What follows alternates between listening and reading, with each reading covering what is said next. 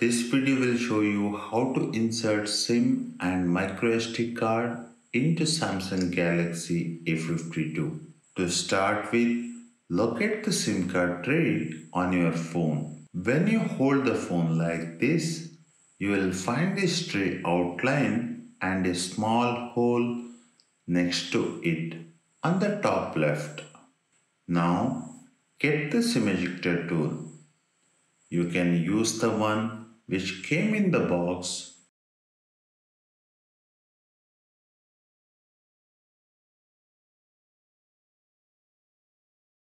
or other phone SIM ejector pin. Insert the SIM ejector pin into this hole and push a bit. The SIM card tray will pop out. Pull the tray like this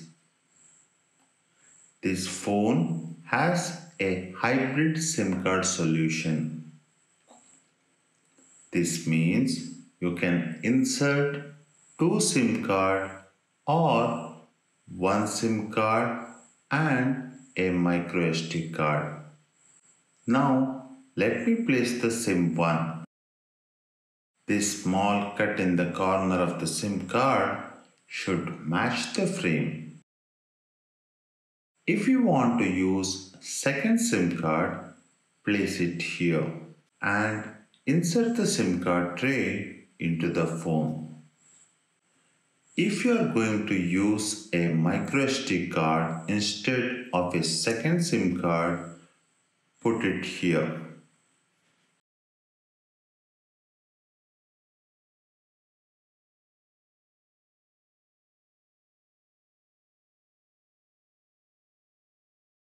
For this video demo, let me use two SIM cards.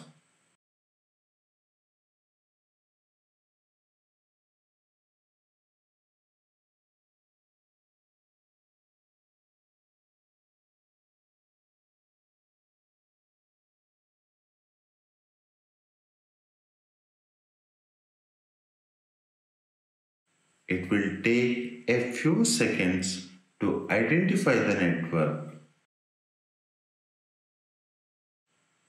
It detected both of my SIM cards. If you are using the SIM card for the first time, it will automatically redirect you to the SIM card manager page. You can go to this page manually by going to settings, connections and SIM card manager. In this segment of the page, you can customize the preferred SIM for calls, messages and data.